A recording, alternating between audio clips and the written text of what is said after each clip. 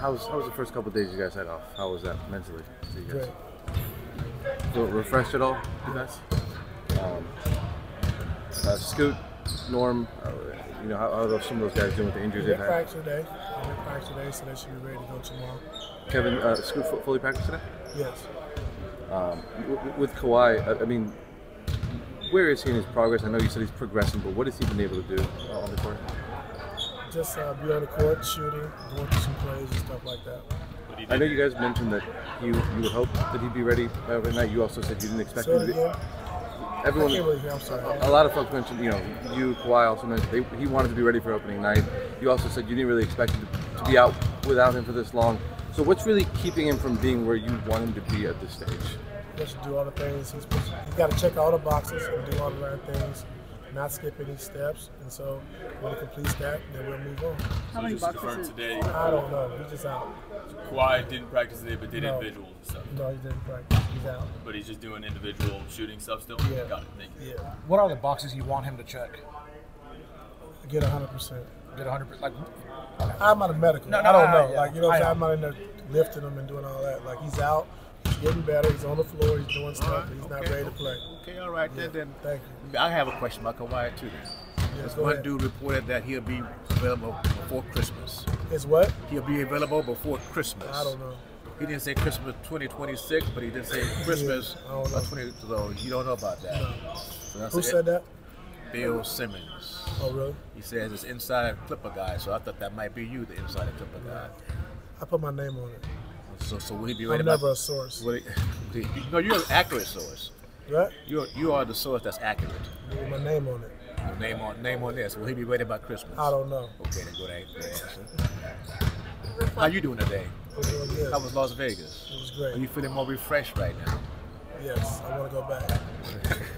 You can go next week. You want to play three games over the next ten days? We'll see. How strange is that to go from playing all those games to now three games over what eight, nine days, something like that? Three games in 14 days. So you're good with that? Uh, we need it right now. Um, just the practice time. Um, guys get healthy. Um, so it's actually pretty good for us. So hopefully we can take advantage of it. You know, get better, and um, you know, that time took away, and hopefully we can Ka- get Kawhi back one of these days. One of these days, Yeah. no particular day. No, Obviously, the team looks different than it did in some ways when you guys were last in Houston. But reflecting on adjustments that you could make based on this specific team, which are the most important ones for tomorrow? um, I think handling their pressure. I think they did a good job of handling ball pressure. I think taking care of the basketball is going to be another thing. And then we got to get back in transition. We can't allow them to play in transition and get out and get easy basketball. Does the rest help specifically against like a young, fast team like Houston? I hope so. I hope so. They are fast, they're athletic, play with pace, uh, they're really good defensively, and um, done a great job of just having them buy into the system and what he's doing. So um, they're playing really good basketball right now. Hey, How do you kind of segment these these two weeks here where you have three games, a lot of practice days after having so many games? How do you kind of segment these days off in practices? How do you segment them? Jeff? Yeah, like do you have you know a day where it's more recovery, more you know you guys go hard? Yeah, we got a little bit of both recovery, you know, but I think we just gotta um, start adding offensively, you know, getting better with that, um, and then defensively, just you know, making sure that we're understanding what we're supposed to do. You know, um, we've had a lot of not a lot, but we've had just slippage in our normal coverages, our foundation of our defense, and so just getting back to the basics. And that's that's gonna happen if you don't practice. You know, you don't have the time to practice. So um, having these 14 days, you know, three games in 14 days, you know, get some time to practice and, you know, kind of fine tune what we're trying to do. So just to be clear, Norm and KP will be playing tomorrow, Norman who? and then Kevin Scoot. Porter. Okay, yeah. That's a thing named Scoot. Scoot, yeah. What's his mother called? Scoop. What do you call it? Scoop. I'm calling him Kevin. That's what I see on it. Put that on the uh, sheet tomorrow. Scoot. See, how how much easier does it make it now that you've had all these games and get to practice compared to when you had, you know, to practice all of October to build the foundation of the team that you brought? Like, how do you, like, what's it like to progress from that um, now that you've played so much? Um, we still, you know, we still have steps we to take to get better. And so, you know, having this practice time and just reiterate, you know, things we can get better at and actually go through it on the floor and take time to you know, actually teach and let the guys understand what we're trying to do um, is very helpful. And so um, the schedule the way it was, it was hard to get practice time. And so now we can take advantage of it and hopefully we can improve. Do you watch any basketball on your days off? Like the last two days, did you watch any basketball? No. No, so you just like decompression for you? Yes. Does that help you mentally? It does. Uh, do you feel like you can get like, I guess, overworked in that sense? Like if you're just around basketball too much? I mean, it's my job. you No, I- I know that, but I mean- but I mean, it's, I mean, you playing every day or every other day. It's hard to really, you know, not watch because you're preparing for the next team, preparing for the next game. Um, you got to watch the game you just played to see what you need to get better at um, and what gives you problems. So um, throughout the course, you know, this what 24 games, it's been hard to really catch other games, you know. Um, without having to work or hope work yourself. So it's been tough. So now I can kind of lock into other teams and see what they're doing, and um, have some time off really helps with that. Not just for your team, I would say for the whole league. How many games do you feel like it takes, or how deep into the season do you feel like it takes to completely separate the identity that you think your team had a year ago to them feeling like they have a good enough sample size to what you think they would play like now? I think we know who we are now. I think um, it's been long enough, and we play a certain style of basketball for you know, 24 games, and you know, um, two and a half weeks of training camp. So I think we understand who we are. You know, we got to be a defensive-minded team. We got to have a, a defensive intensity every single night and having that mindset. And so I thought we, I think we brought that, you know, for the most part, for 24 games, and that's that's who we are. Do you feel like that's the case for everybody in the league as well? Like, I mean, it's different. You know, I mean, it's different because teams, different teams have different people out. You know, so things are different. You know, so um, we know when Kawhi comes back, he's a defensive minded guy who can guard the basketball and play. You know, guard five different positions. So um, for him coming into, you know, what we're doing here shouldn't be a hard. It shouldn't be hard for him, you know, to get involved. Do, do you foresee when Kawhi does come back? Do you foresee him not having to take the defensive workload and burden as much because of guys like Derrick and Kris, and and, and, and thus keep him fresher on the offensive end? Yes, sir. How, how much does that impact the rest of the team when he's able to do stuff like that? Um, it's very impactful because now he can, you know, focus in on scoring the basketball, not getting tired, and you know when he comes back, you know what kind of shape is he going to be in? You know, so um, to have guys that can defend and do things, um, do the dirty work for Kawhi to be able to get um, to himself, you know, I think it helps out a lot. Thank you, Ty. Thank you. Offensively, we got to be in the right spots and play with it a little bit, a little bit more pace and, and not be up. What makes Ty's practices different, like whether it's structurally or tone, compared to other systems that you've been part of? Uh, I don't know. It's, it's different though. It's a different feel. I, I come out here, I feel feel good. Get some shots up. Yeah. It's I feel like it's a very good practice. After playing all those games over the last two weeks or so, is it good to get a couple of days off to kind of recalibrate your bodies and everything else? Amazing. Is it? Amazing. I mean, of course, through all the basketball games, then you get a little bit of soreness.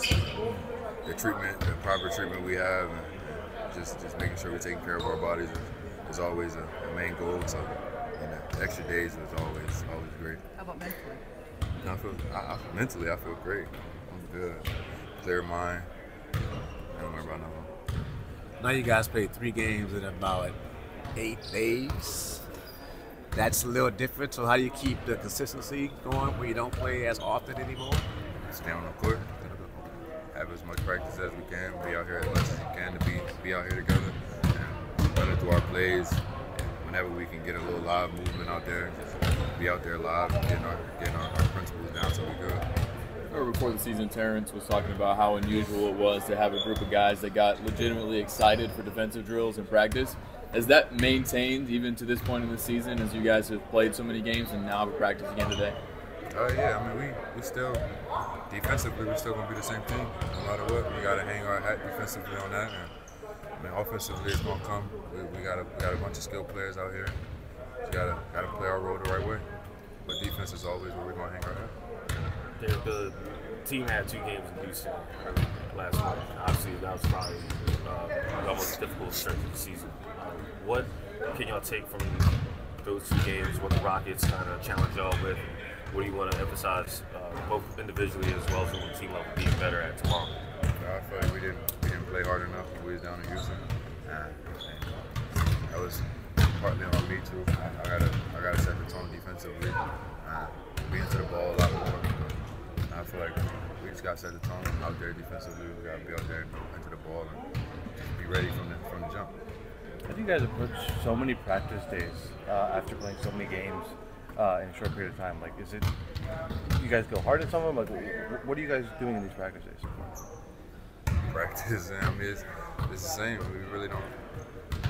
You got to go after it. You can't. You can't go out there and, and try to try to be timid and, and put one foot in, one foot out. It's not gonna work. You're not gonna get nothing out of it. So for us to get something out of it, we got to go out there and, and be locked in 100 percent and give it what we got. What does the holiday season look like in the Jones household? Crazy. Crib is is, is, is too decorated. I'm still waiting for some more inflatable stuff to put outside for the kids. It is what it is, though. You know, I love the holidays, especially for kids. You know, I, I get to see them, see them happy, and just be around family. That's, that's all. That's all it's about. Does your wife run point on decorating, or are you part of that? Hell yeah. I, I mean, I, of course I help, but She's a mom. yeah, yeah, yeah. She run that. She run that department Okay, thank you. for sure. You guys, we'll go back to Dallas. I know it took a couple weeks from here, but those two games, I guess. Uh, looking forward to that. To that, you know, being back there. You had a career year there, obviously. Am I looking forward Yeah. to it? Of course. I mean, I get to see my, my old teammates and old coaching staff. For me, it's just another game. I go out there and play the game how I'm supposed to play it. I don't really worry about old teams or new teams. I'm, I'm, I'm worried about the game in hand. I want to win, no matter who it is in front of me. I told y'all before, if my mom down there, I'm, I'm dunking on her. It don't matter. She gonna get, I'm gonna get a stop on my mom, my grandma, sisters, my sons. It don't matter. If I gotta, if it's a game, I want to win. I ain't trying to lose. Ducking on your mom. I ain't gonna say it again. Mom's getting punched on. It is what it is. Man, your mom, well, after you get punched on her, you know what's coming next. She gonna get you at the Yeah, house. yeah, that's cool. That's cool. I, I, I gotta live with that. Sometimes you, you gotta, you gotta, you know, the results from from your actions. You gotta live with those. Yeah. I have to live with that result. It is what it is. Wh- When you, when you play with a group like that, have that kind of a, a run, does that form any kind of special bond that kind of goes beyond just, you know, that one year you had there? Of course. I mean, those are my guys for sure. But I mean, things didn't work out, so I'm here. So you still rock the Kyries? I'm Uh, an and- I'm yeah, an with- Anta brand player, of course. That's my that's my dude. And they're very comfortable. So if y'all out there and y'all want some Antas, go get them. For sure. Oh, oh, too. For sure. So what are you gonna do with all this time off? Rest. Um, you know, just get some rest. I feel like it's been a, a crazy schedule for us, so you know, just having some days off will be good for us. Get off your feet and uh, you know, just do do whatever you need. to. Christmas shopping. Yeah, Yeah. yeah. So do you get hyped when you see Kawhi out on the floor too, or is that just us?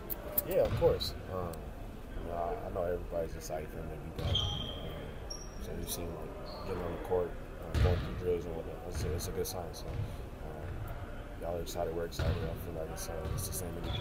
What's it like when you actually get to have him on the bench, going through these games at home and everything? Like he's there, and clearly he's in a good mood. But what's he telling you guys throughout the course of games and whatnot? Um, I mean, just just showing the leadership off the court. Um, you know, helping us in whatever way he can. Um, telling us what he sees when we come off the court during timeouts. Um, you know, talking to our guys and just giving advice what he sees. Does he sound more like a player or more like a coach? A little bit of both. A little bit of both.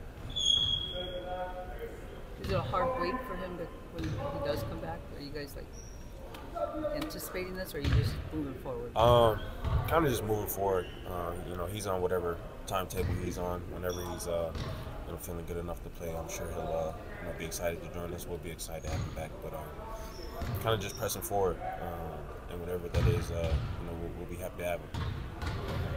You got more dunks this year than all of last year, man, and that's like nearly a thousand minutes fewer. Like, what do you? Why do you think that is? I don't know. I really don't know. I remember you said that to me a little while back. Yeah. Um, just right, right place, right time. That's all. So you like dunking? Man? I can get up there a little bit. Yeah. But yeah. thousand fewer minutes is not right place, right time. I guess. I guess it's just working out. Yeah. You, you making more, more of an effort to, to get paint touches yourself this year? Um, I won't. I won't say that. Really, just I know I say this a lot, but just taking what the defense gives me.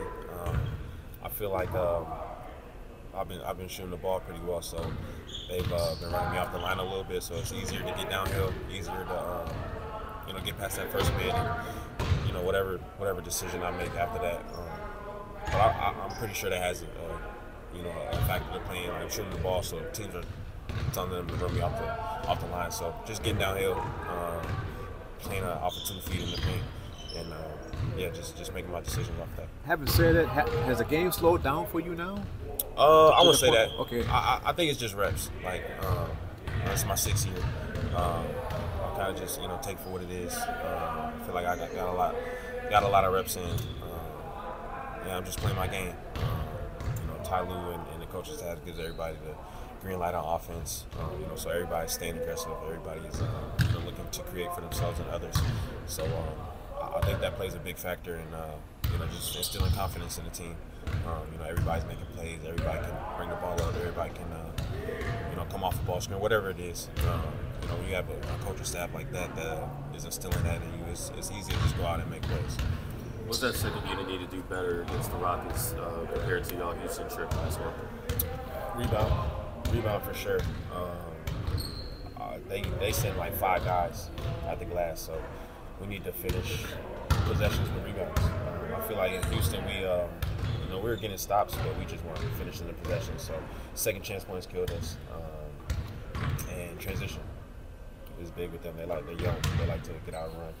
Well, man, you you young man. Yeah, true. But I they like to I get out and run. they like to get out and run. Um, and it's in five to the glass. So just finishing possessions, um, getting, getting our defense set, and getting back. Amir, Last one, okay. you shot the three really well this year.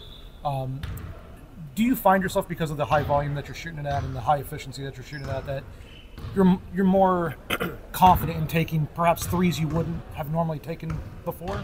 Uh, yeah, yeah. Um, you know, I'm I, I'm gonna try to get my shot off. Um, I, I feel confident in it. Um, it's been dropping, so if uh, you know if I can get it off, I'm gonna get it off. Um, and that's that's kind of what I was saying about the team running me off the line. So uh, whenever there's an opportunity, and I think I you know have a good enough shot, I'll take it. Uh, you know, and if not, I'll just get it to my other package when they run me off the line. Ty- Ty's been a big proponent of taking the the first best shot you guys can get. Yeah. Like does that like fit you well because of how well you're doing? Yeah, yeah. Um, I feel like uh, you know in film we got a lot of possessions where a guy passed up a shot and then the possession will end up in a turnover or whatever it is. So um, you know just taking our open shots uh, i- i- is the best possible outcome for us because a lot of the times when we pass those up, something bad happens after that. So uh, yeah. Thanks, Mayor. Yo, man.